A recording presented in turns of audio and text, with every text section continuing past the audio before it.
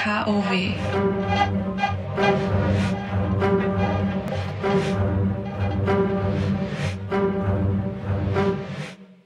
Okay, so hi Collier.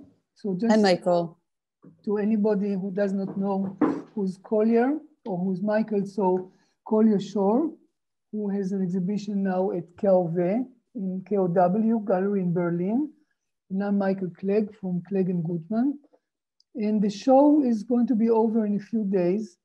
So as a kind of a finissage, we want to talk a bit about the show, a bit about the period that we met each other in New York, and at the end about the collab collaborative project that we've done together, collaborative portrait.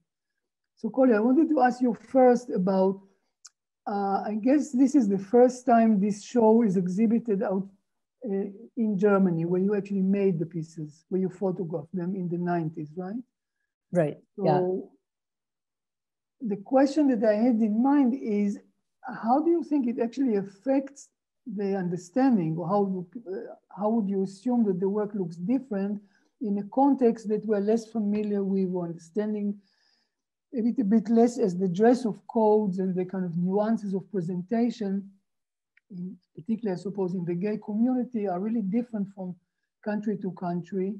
So one kind of loses control, I suppose, about the nuances of um, the codes or the meaning of particular positions.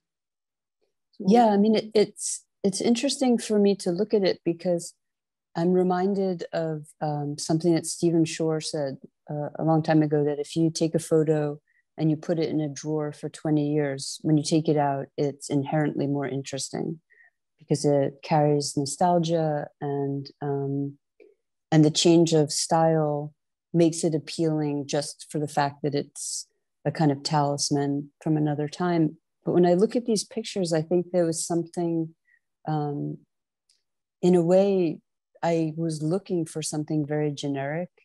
Um, you know, the clothing, the Levi's, the sweat socks. I think he has a belt on, the hairstyle. In some ways, I think it's not, it doesn't really look like it's from another time. It more looks like it's timeless. Um, and for me, I think the, what's interesting is when I made that work, there, the discussion of gender was sort of bound up, I think, in um, gay male identity in art and also AIDS activism. And so it almost is a full circle to the period now where people are so much more interested in gender and fluidity. There's so many more terms um, that the pictures, in some way, seem normalized in a way that maybe I was trying to provoke the landscape in 1992. Mm-hmm. And now it seems like it could actually just be a document. Yeah, well, I was thinking a bit more. I think it's a really good point about the changing, that inevitably work changes. Uh, we often experience it or think about it in the context of monuments, where we try to make our public sculpture always for a very limited time, simply knowing that the circumstances around it change, so the work is constantly uh, in transition in a way in terms of its meaning. So my thought was more, let's say, if you look at the what you refer to as kind of generic American um, elements in the dress, uh, the, the, code of dresses, dressing, uh, I would say that perhaps here it's more like thinking or symbolizes the relation to the United States, right? That one looks like they participate from Germany in another culture, right? That it's not, yes, uh, it's robbed of a certain let's say, naturalness or obvious quality that uh, you would have in the United States. It has immediately a kind of a reference.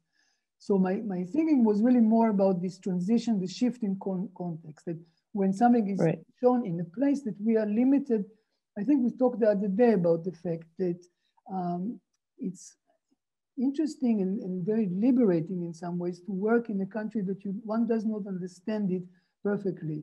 Uh, in my case, I've limited, my German is, is not fluid. I even choose uh, not to, uh, to speak German. So um, when we photograph people here, uh, we, we if, especially if they're politicians or people who have a public image, we, we don't have a complete understanding of who they really are.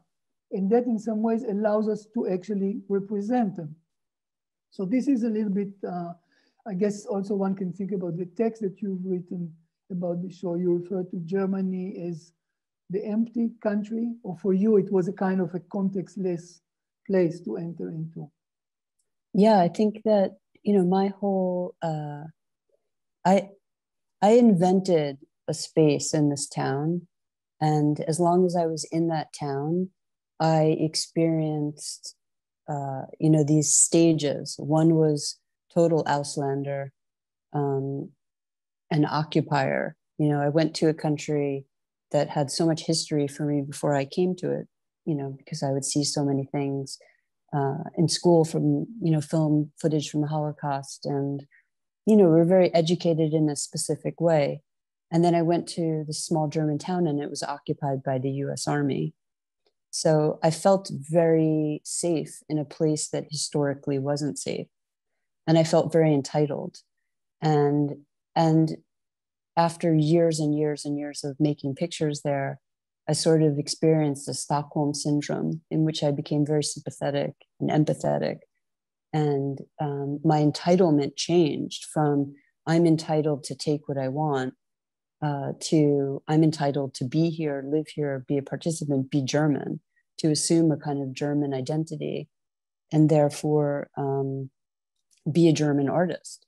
You know, and, and and we talked about, I think, the lineage of German photography, and and both of our our interest in Dusseldorf School and and the way that August Sander's work sort of, you know, informed so many generations of photography Mm-hmm. I think precisely because it had such a wide, you know, mm-hmm. agenda in terms of describing and also, you know, really used a lot of genre.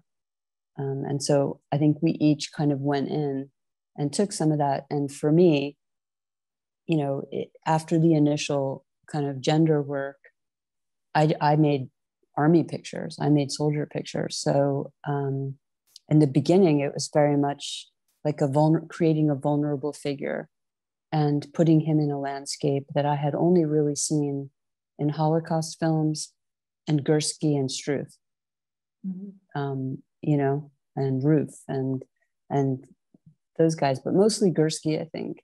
You know, just seeing that countryside that seemed like it was without breath. And what I wanted to do was put a breathing thing in the landscape because my encounter with southern Germany was that it was very much soft and and in, in a way inviting. Mm-hmm. Well, I think working in, in contexts that are less familiar to us allows us kind of freeze us from the difficulties that we have to produce work in places that we understand perhaps too well. It provides a space of fantasy and projection that perhaps one does not have in other um, more familiar places. But you were saying before, and it's an interesting point, that the work started in New York in relation to the politicization with, with AIDS. And of course, I think for many of us, that was a, a moment, kind of an awakening call.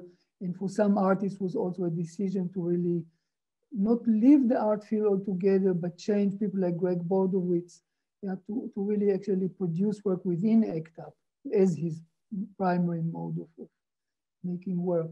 So maybe we can digress for a minute and go back to, to this period in New York that is hard to really understand right now when, when really AIDS was uh, so much kind of clustered around marginalization. Yeah, perhaps, perhaps I guess with the corona, one could say that it's also to a degree when it's um, blacks and Hispanics are kind of, or all the people are associated with that. So let's say the burden of these numbers is perceived differently.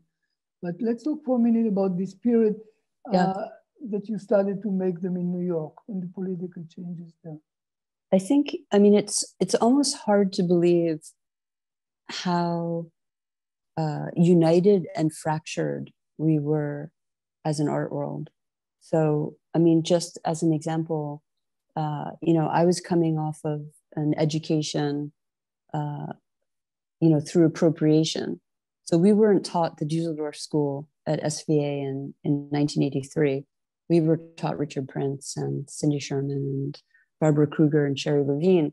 So there was one kind of conceptual framework about not making pictures. And then what was coming in on the other side was, you know, AIDS activism work and David Wojnarowicz. And, you know, and I went to school with Greg Bordowitz. Uh, so I was, you know, very close to to him and, and the way in which he shifted as an artist um, during during the AIDS era. But there was also this idea of, uh, you know, Jack Pierson and Mark Morrisroe and Nan Goldin. So there was like one school of thought that was saying you don't have to make a picture to make a picture, and there was another group of people that were somehow making pictures. And, and this all happened at the same time. And I think for me, until I went to Germany and started making work, I was in this appropriation mode and I was talking about gender and I was talking about lesbian visibility um, in, in direct relation to David Wojnarowicz, who, uh, you know, was making work I really responded to, but it wasn't about my identity.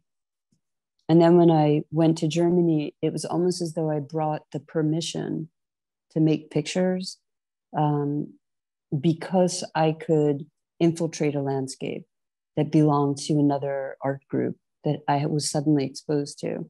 And so it was really a kind of perfect storm of, I remember thinking like, I wanted to make a Larry Clark picture, but I wanted to make it in a European kiddie porn atmosphere.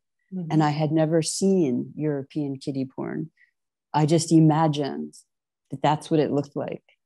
And, and I did this with my girlfriend at the time's nephew so it was it was really a lot of land grabbing and it was all to kind of make something that brought together everything in new york. I'd been thinking about but i had a very strong sense that what i was making in germany would not be at all acceptable in germany. Mm-hmm. and and was it so? What was your impression yes. of how new york was where did you show it first? I showed it at 303 Mm-hmm. Um, and I had, you know, for me, the the thing of looking back at that work is that I I didn't know very much about photography technically. And so I have certain emotional feelings about what's happening in that work because of my limitations, the limitations of the time, the technology. Um, but I, you know, and I think I wrote this in the press release, I carried a lot of um, and maybe it's necessary, necessary aggression to uh, Germany. It's just that what happened is I loved, I began to love Germany, German people, the land, my place in this town. And I really began to also increasingly dislike the German art establishment because I felt that I was making something that was uh, in earnest conversation with the lineage of photography. And I couldn't understand why that wasn't interesting. You know, I don't think I've ever been in, in Textkunst mm-hmm. ever, you know. Uh, but do you think that your work is understood differently in Germany or you have any any sense of how it's been seen here? I mean, I always felt like it was the kind of thing that someone would just, you know, instantly turn away from. Like you know the combination of like gay pictures and nazi pictures mm-hmm. and romantic pictures and pictures that romanticize gay and nazi just seems like uh, you know a poem that a german would say can't be translated into german. Mm-hmm. and so yeah. You know i forgot that we have uh, we downloaded before from the site of uh, uh, one or two of the pictures. So let, let me just open them so we can look that one as we speak. Um,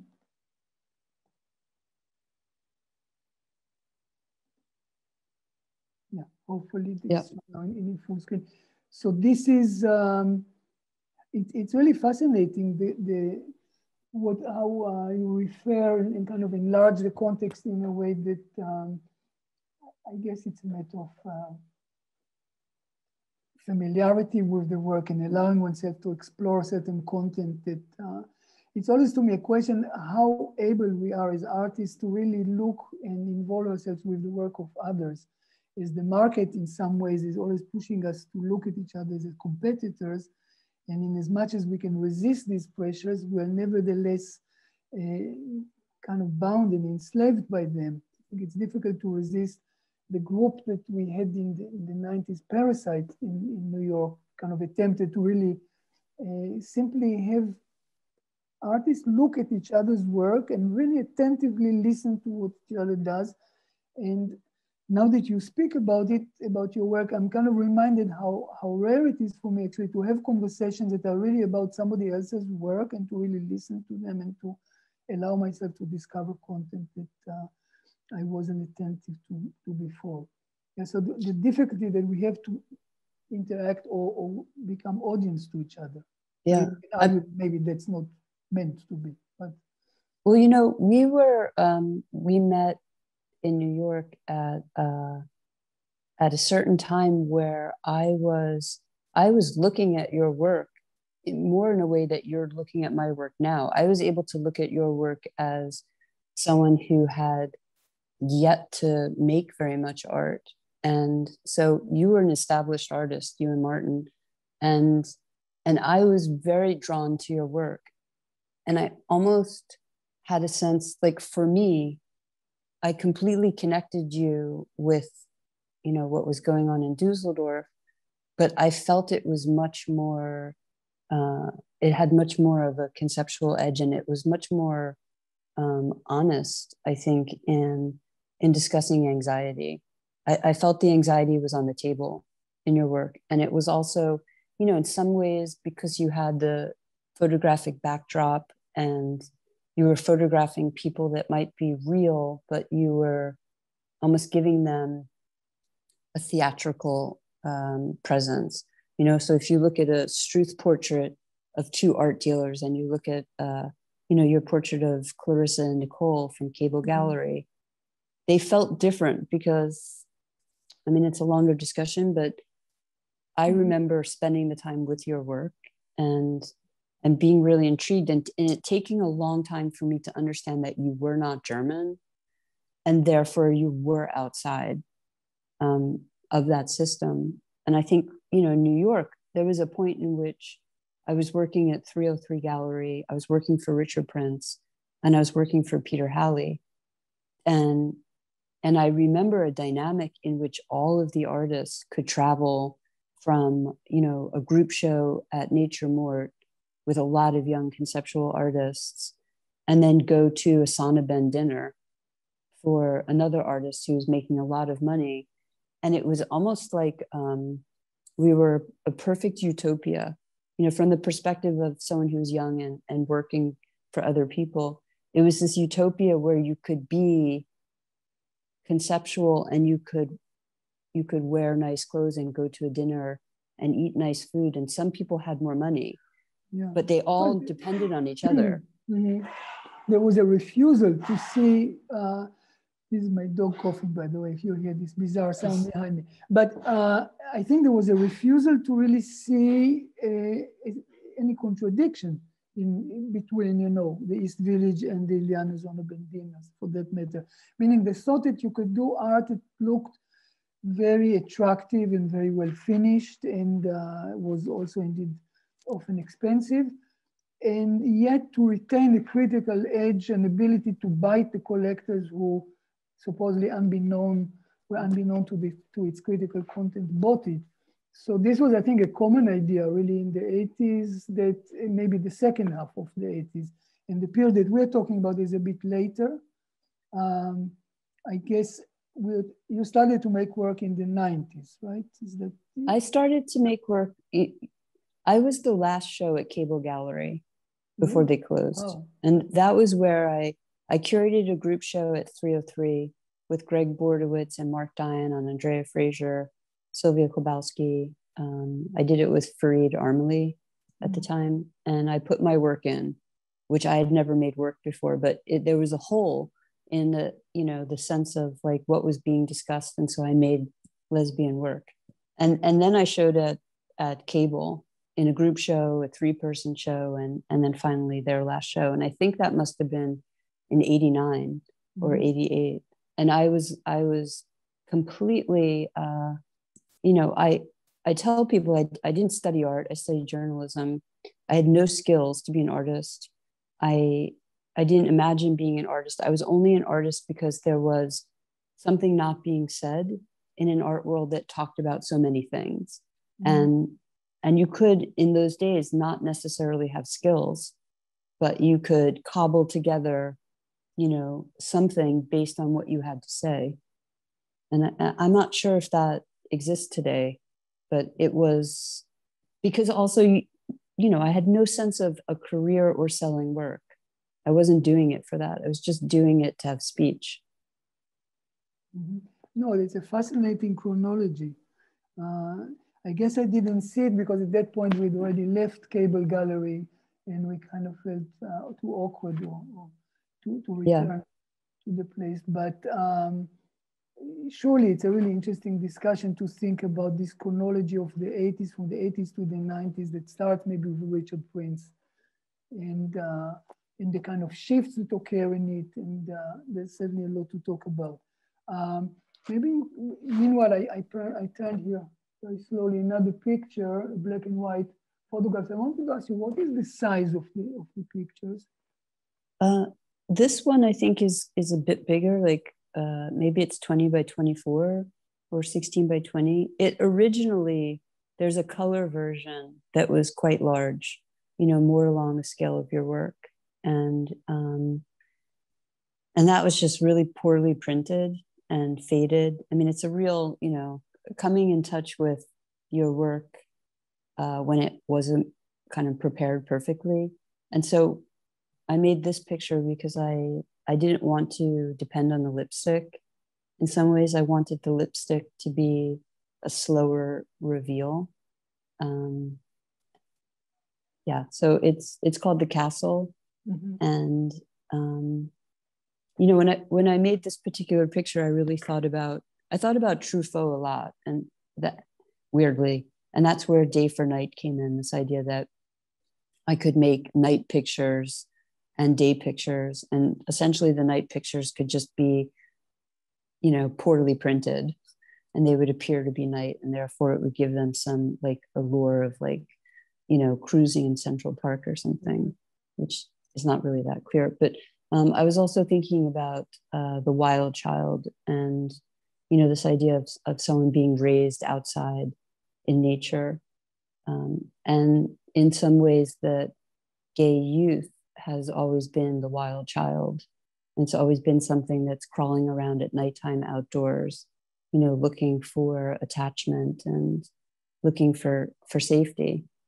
and so um and then calling escaping, it the castle yeah escaping to the tree house here or to the tree as a, as a place of of being in your own territory. It almost looks though a negative positive. That's another effect of the, the night for them. You know, the, the picture looks yeah. could be flipped or yeah. Um, but um, we talked before, and maybe we can we can we, we kind of decided that we'll have a short conversation, and it's difficult to do because there's a lot that we can talk about, and perhaps we can continue outside of the framework of this um, short video that we're making. But um, so perhaps in conclusion, we can look at the piece that we've done together in the collaborative piece that we've done in 86. I'm gonna search for it, it's here. and I suspect, I'm trying to remember the occasion. I'm quite sure that Martin, I, I, I'm kind of trying to remember to what degree I was actually involved in making this particular piece and if it wasn't Martin who photographed it. I think remember? it was Martin. Yeah, I, I, think so. I also kind of, uh, I mean, we have very established guidelines of how we do things, and I often find we always find each other speaking about the others' work as though it's their own and it's ours at any rate. But one tends to appropriate. But I thought it would be, of course, um, we are we are missing Martin, who's, who's at the moment living in Vienna and, teaching there.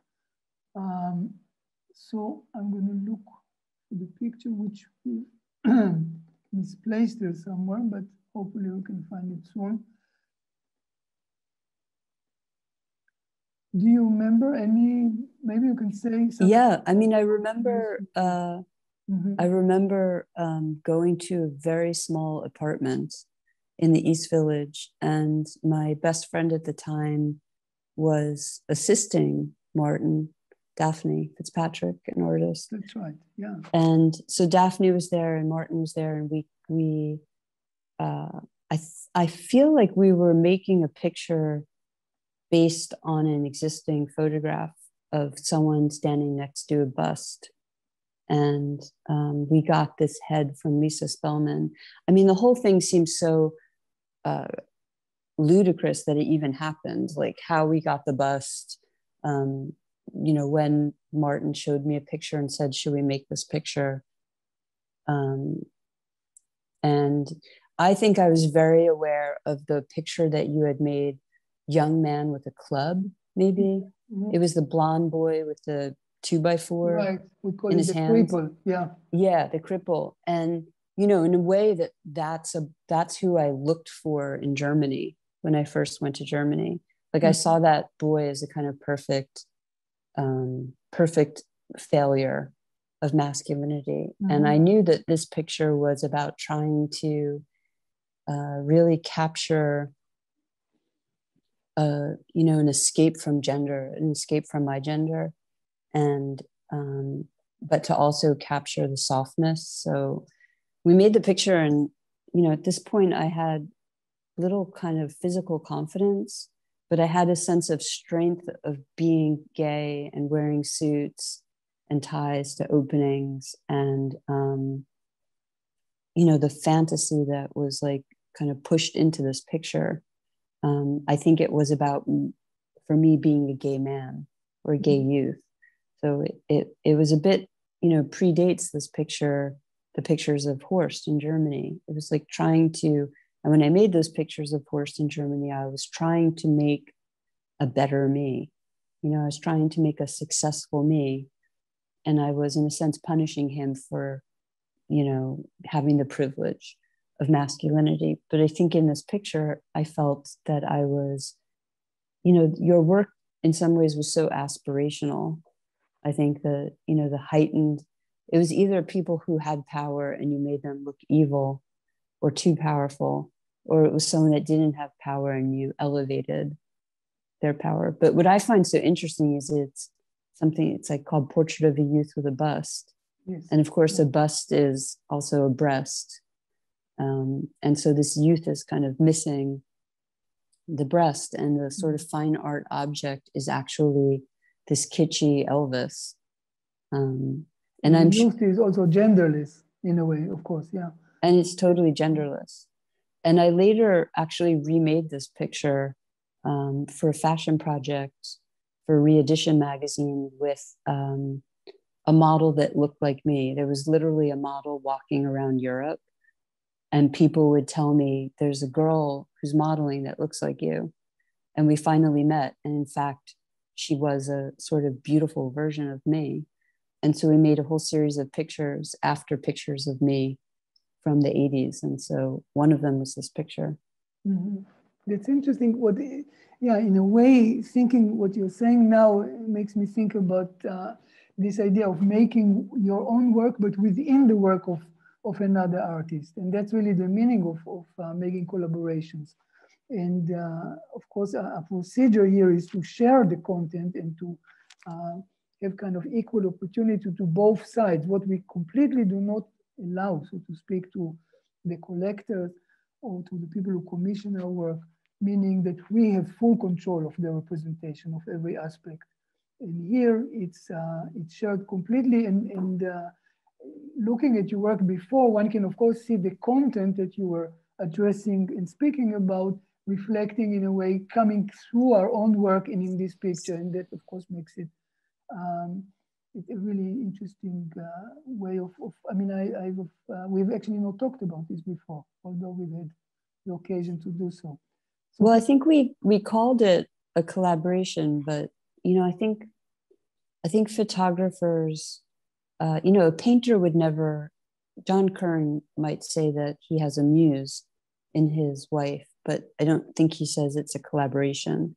I think photographers sort of know that it's a collaboration because the there's a subject that's alive in the work. And but but there is a sense of like how we how we take them. So when we made this work i had emotions of like i'm making a collaborative work. And in fact this work wouldn't exist without all of my history and ideas. But it lives in your work. And you know in the end all i wanted for all this time and i'm finally getting it was to own it to have it um, as a proof of my specialness that I was in something.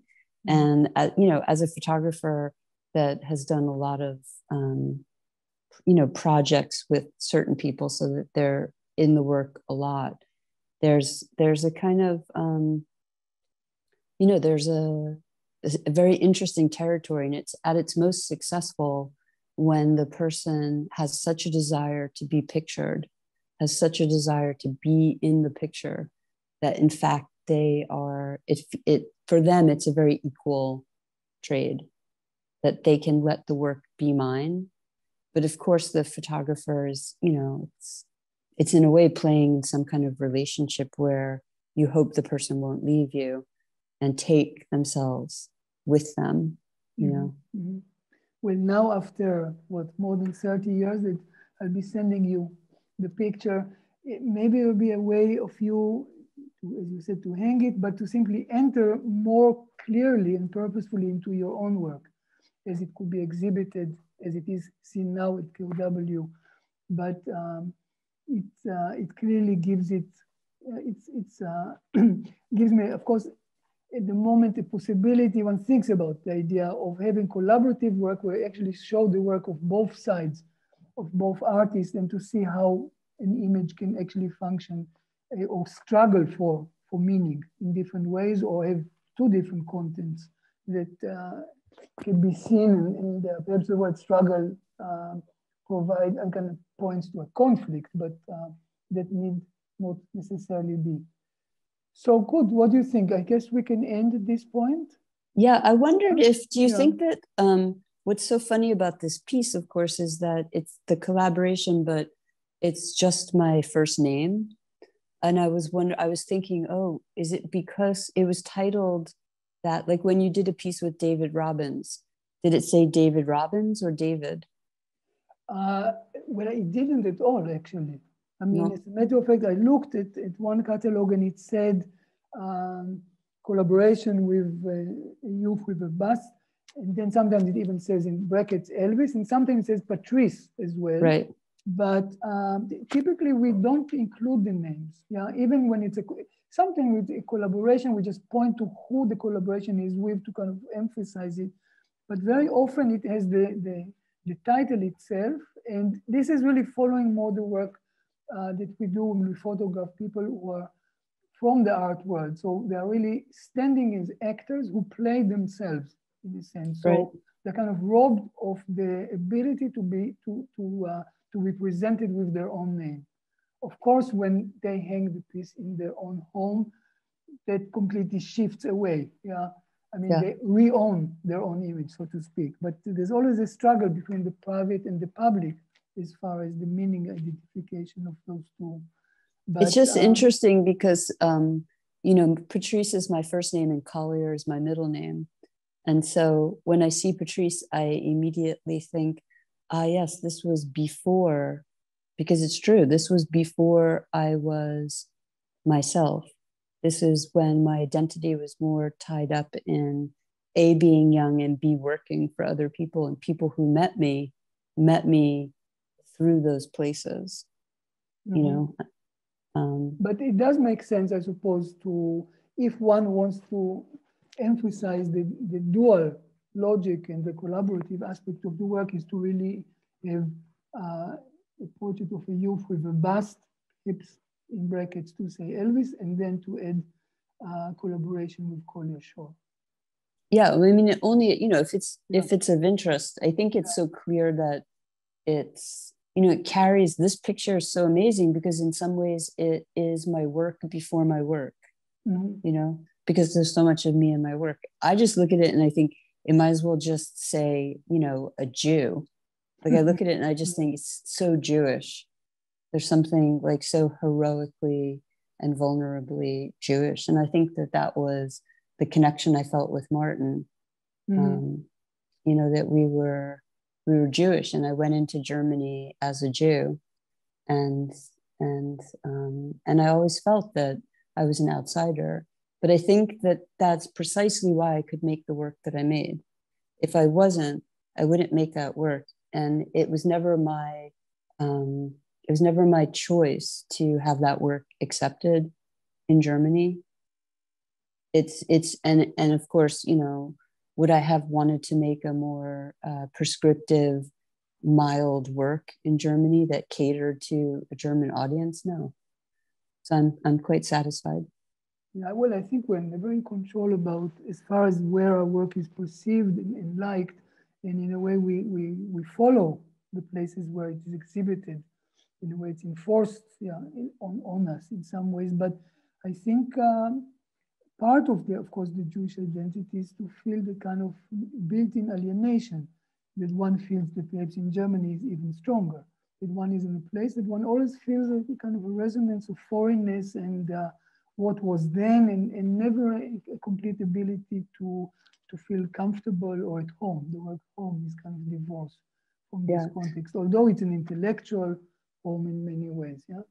But can I add one thing, just because I think it's it's really interesting? I had, um, you know, earlier I I did some projects with Barbara Weiss Gallery, and I had the opportunity to have a visit with Barbara and Kasper Koenig one year, and and I remember Barbara looking at my books uh, of pictures from Gmünd and being very emotional and talking about being homesick for Germany, homesick for her childhood. Um, and I thought, ah, this is really the reason that the work is complex for Germans, because nostalgia is so complex for Germans. And there's very little opportunity to indulge in nostalgic yearning. And I think my work just is too, it provokes too many complicated feelings, or it did. Um, you know, because I know that the people that I photographed and the adults, the parents of those kids, all had very nostalgic feelings about the pictures. And that the, a woman could look at a picture of her grandson you know taken that year that summer in a nazi uniform. And i gave her permission for them to have a memory that they had taken out of their photo album you know in the 70s so it's interesting. Yeah there's a whole history of course of jews being able to present germanness to germany yeah, to be kind of super German in in a sense, to precisely because of their alienation is, uh, they have an extra measure of wanting to be assimilated and therefore internalize.